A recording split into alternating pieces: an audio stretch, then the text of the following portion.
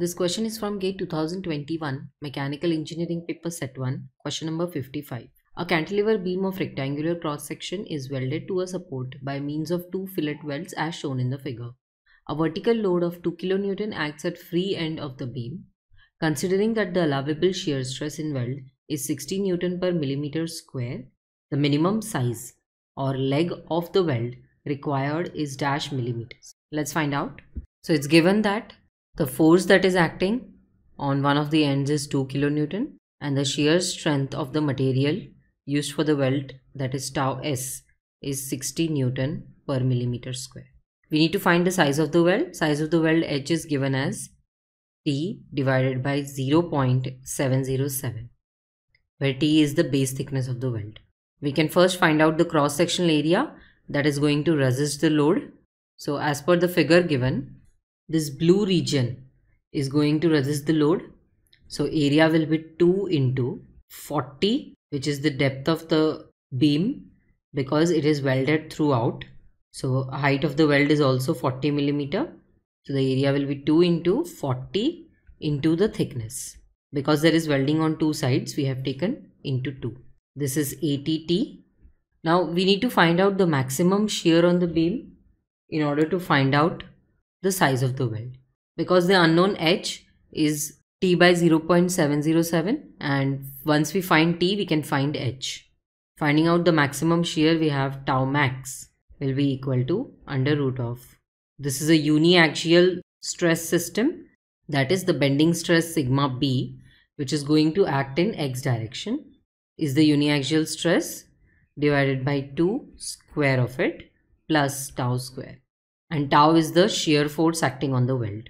We can find out both these components tau and sigma b. Tau simply can be given as force that is 2000 Newton because it's 2 kilonewton divided by the area that resists it is 80 T. So tau is nothing but 25 upon T and this is in megapascal because 40 is in millimeter and 2000 is in Newton.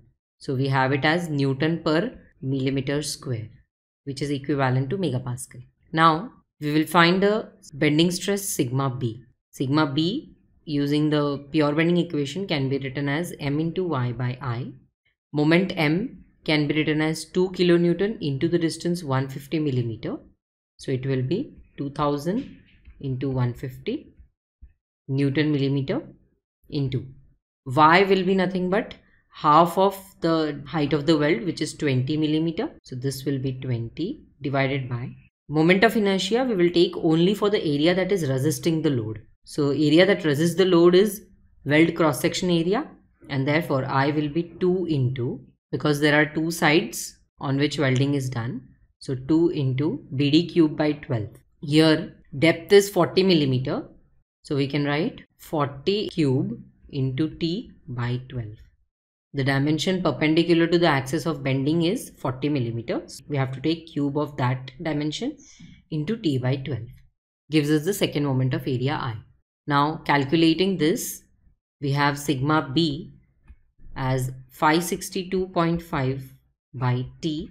This is also in megapascal because we have made sure to convert all the units in Newton and millimeter. So the answer comes in megapascal. Putting this here, we have tau max is equal to under root of 562.5 divided by don't forget this 2 so we have 2t square plus 25 by t square.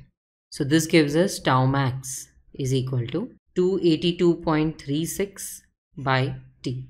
In the denominator we will get t square after solving and taking the square root we will take we will get t. This should be less than or equal to the shear strength now taking the limiting condition that is equality, we'll have tau s will be equal to 282.36 by t and t will be therefore equal to 282.36 divided by the shear strength is 60. So thickness should be 4.7059.